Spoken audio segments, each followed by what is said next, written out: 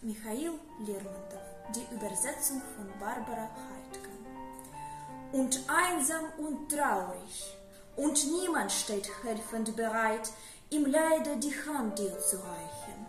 Was nutzt es, vergebens nur Wünsche zu nähren allzeit, indes deine Jahre, die besten, verstreichen? Und lieben, nur wenden, bloß flüchtig der Mühe nicht wert, doch ewig zu lieben, unmöglich. Schau in dich, der Blick aus Vergangene ist dir versperrt, und alles dort, Qualen und Freude, ist kläglich.